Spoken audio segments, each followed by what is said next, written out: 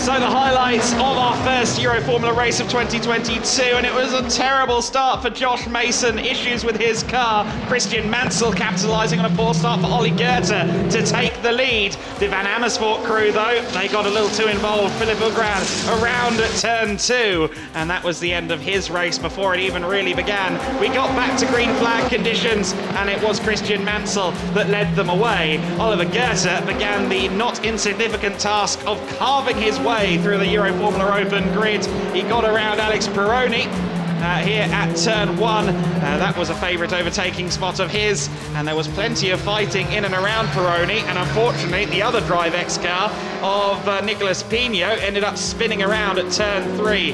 Then we had Fred Lubin having to hold off Sebastian Ogard as the race progressed, but eventually Ogard found a way through. Bit of a lockup as he went through the Parabolica interior, but he managed to make it stick and move up to third place. It was something that he had to do in timely fashion because Oliver Goethe was closing in.